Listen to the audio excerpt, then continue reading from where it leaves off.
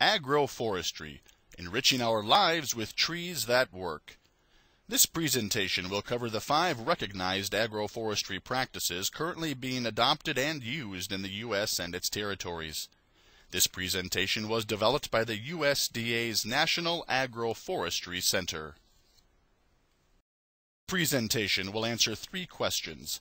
What is agroforestry? What are the benefits of agroforestry? And where is additional information on agroforestry? Simply put, agroforestry is the combination of traditional agriculture and conventional forestry, hence the word agroforestry. Building on this simple definition, agroforestry is the intentional combining of agriculture and working trees to create sustainable farming systems. In agroforestry systems, trees or shrubs and their products are intentionally used within ag systems, livestock, or forest. Agricultural knowledge, careful selection of species, and good management of trees and crops are needed to optimize the production and positive effects within the system and to minimize negative competitive effects. Agroforestry systems can be advantageous over conventional agricultural and forest production methods through increased productivity, improved economic benefits, and social outcomes in the enhanced ecological goods and services provided. This unique management approach is used worldwide today, although underutilized in the U.S. Midwest. Agroforestry systems have a wide range of applications that lead to clean water and air, safe and healthy food, abundant life, beautiful places, clean, renewable energy, and sustainable family farms and ranches. Agroforestry practices also make economic sense. Protection and enhancement of existing crop or livestock production systems can increase income. However, more intensive management of agroforestry systems can also create alternative crops that help to diversify risk as well as create additional income. Of course, with a more intensified production system comes the need for increased technical and marketing skills, developed on farm or provided from off farm sources. As an added bonus, agroforestry practices are eligible for cost share or land rental payments, although availability will vary by state and program. As noted earlier, agroforestry incorporates technology from agriculture and forestry. Expertise in both areas are needed. Neither can be ignored if an agroforestry system is to function properly and provide the desired benefits. In the U.S., agroforestry practices are generally grouped into five categories alley cropping, silvopasture, forest farming, sometimes called multi story cropping, riparian forest buffers, and windbreaks. Special applications or products can be added to any agroforestry practice to further enhance its utility and use. Although agroforestry technology can be utilized to address other on-farm and community issues, these five are the primary applications of agroforestry technology.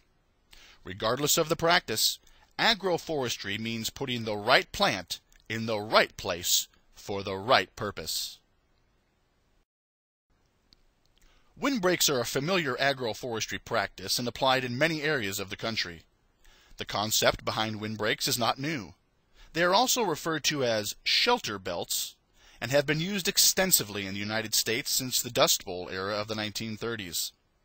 A windbreak's major function is to mitigate wind speed. Therefore, a windbreak can be defined as any living barrier that reduces troublesome winds by creating a wind shadow to the leeward or downwind side. An agroforestry windbreak is one that utilizes single or multiple rows of trees and or shrubs that are integrated into crop, livestock, or human activities. There are also increasingly expanding array of issues that windbreaks are being asked to address. Past efforts have been concentrated on the use of field windbreaks to prevent soil erosion, protect crops from drying winds, and deflect blowing snow from roadways. Today, windbreaks are being used for a variety of purposes to increase yields of ag fields, reduce energy needs around farmsteads and livestock, control dust and odors, and provide environmental services for rural communities. Windbreaks offer a multitude of benefits, from reducing energy costs to sequestering carbon. It's important to remember that not all benefits can be achieved from all windbreaks.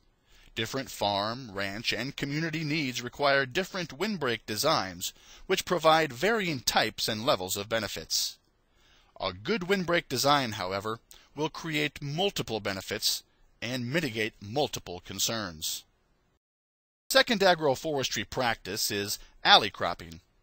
Alley cropping is growing an annual or perennial crop simultaneously in the alleyways between rows of a long-term tree crop. Alley cropping systems provide a way to lower risk by diversifying production. In alley cropping, an agricultural crop is grown simultaneously with a long-term tree crop to provide annual income while the tree crop matures. Fine quality hardwoods like walnut, pecan, and oak are typical species in the temperate zone and can produce high-value lumber or veneer logs. When nut-bearing trees or shrubs are used, they can provide an intermediate product for sale. Most row crops and grains, as well as specialty crops, such as taro or St. John's wort, have been shown to grow well in an alley cropping system. In addition to improving annual and long-term cash flow, alley cropping systems also protect annual crops, reduce soil erosion, improve water quality, utilize nutrients, and enhance wildlife habitat, while improving landscape aesthetics. An agroforestry system that is gaining popularity, especially in the southeast area of the United States with pine trees, is silvopasture. Silvopasture systems promote good forest management while generating forage production in the understory that is suitable for livestock grazing. Research has documented that many cool and warm season grasses and legumes yield high levels of quality forage when grown under as much as 50% conifer shade. High value saw logs can be grown as long term products, while on the same acre as an annual income can be generated from livestock grazing.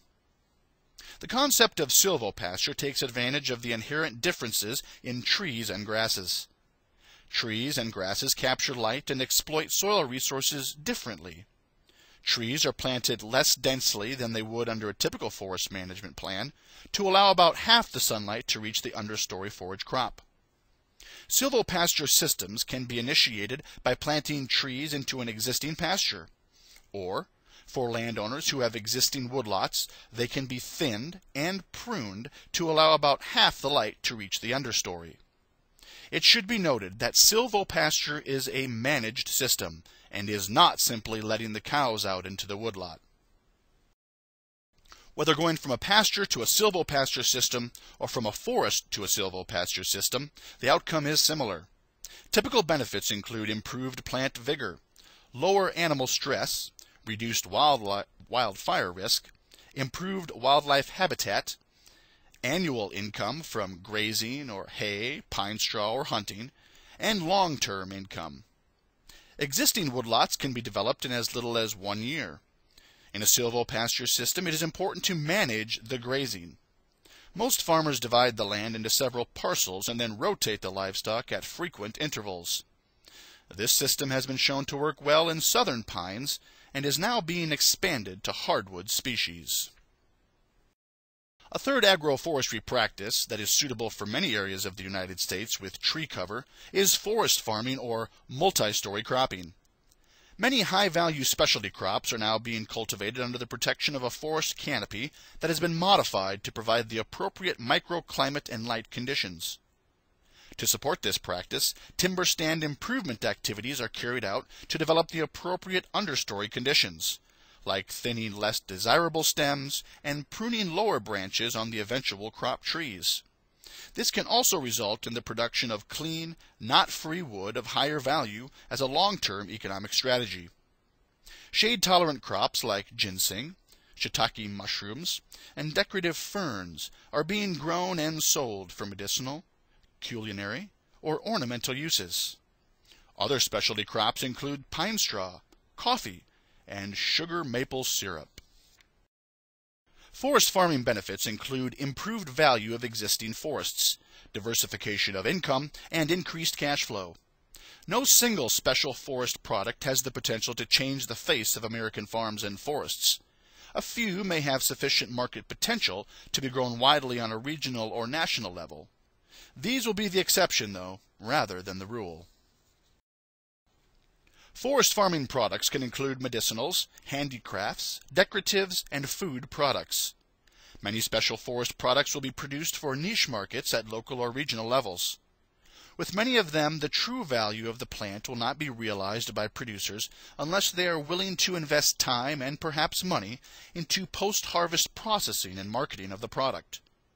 The majority of the value comes when the plant, whether that's the root, foliage, branch, or fruit, is transformed into a product that meets a consumer demand. Here are some of the products that are currently being grown and collected for sale to local, regional, and national markets.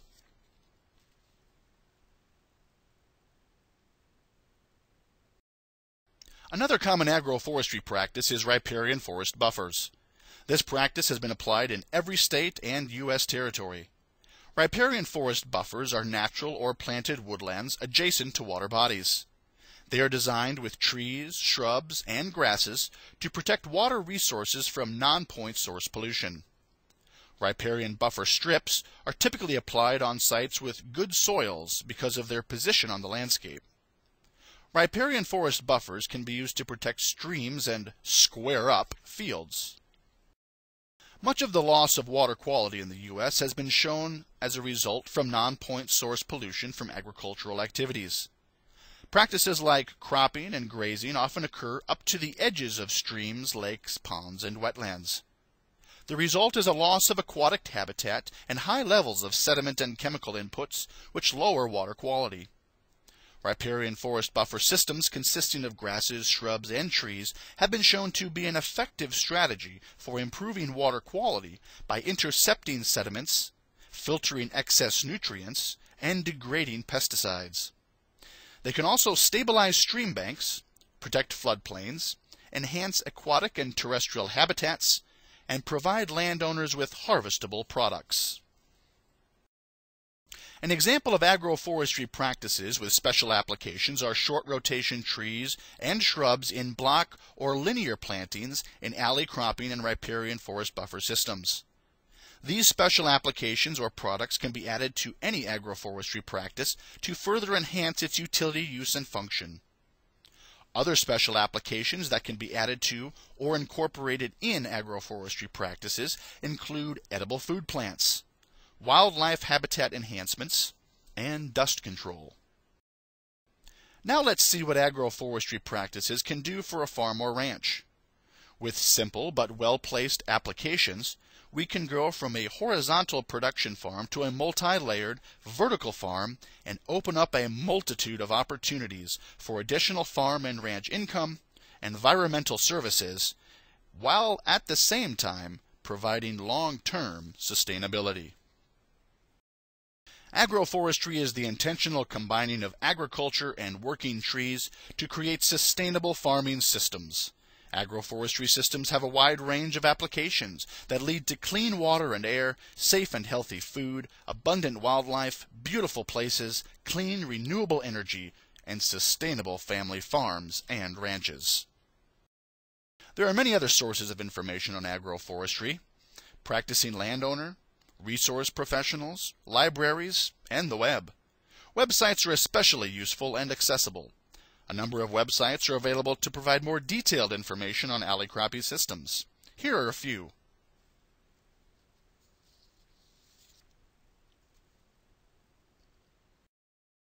This presentation was developed by the USDA's National Agroforestry Center in Lincoln, Nebraska. The National Agroforestry Center is a USDA partnership between the U.S. Forest Service and the Natural Resources Conservation Service.